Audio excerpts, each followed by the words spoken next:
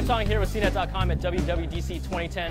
And here I have two of my new friends. This is the first look at the iPhone 4. We got it in black, we got it in white. Let's just check out some of the killer features of this guy. If you look really closely, we have the front-facing camera. This is what it was all about, FaceTime. The first phone fully integrated with a seamless video chat. What makes it great, it does work over Wi-Fi only right now in 2010. They're going to work with the carriers to make that happen in the future, hopefully over 3G. We'll probably see it over 4G networks. But what you also have here is the ability to use the camera on the backside so that they can see what you're seeing. And this phone here was all about the camera. It's a 5 megapixel still camera with an LED flash. It also takes HD video at 720p, 30 frames per second, and then when you add all that together, you have the ability to get their application, iMovie for the iPhone, instantly enables you to edit video with themes, transitions, take picture assets, music assets, as well as transitions, and make a polished video all on this little device. Now we also know it's a really slim form factor. This is 9.3 millimeters,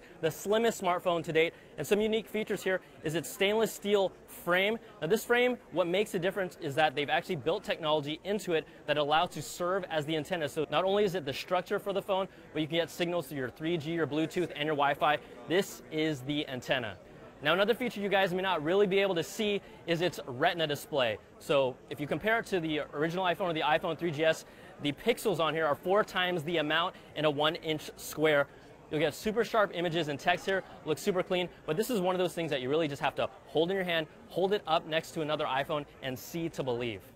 One thing you really didn't expect to see, and it wasn't on this iPhone, is 4G compatibility. This is still a 3G phone that will be operating on AT&T's network. And for all you AT&T current iPhone users, if your contract expires in 2010, you have the ability to upgrade to this phone without paying any early termination fees. So here's the breakdown. These come in black and white, cool, sexy colors. The 16 gig models are 199. The 32 gig models are 299. They'll be available in five countries, US included, on June 24th, and then worldwide sometime in September. So there you have it, a first look at the new iPhone 4. I'm Brian Tong for CNET.com.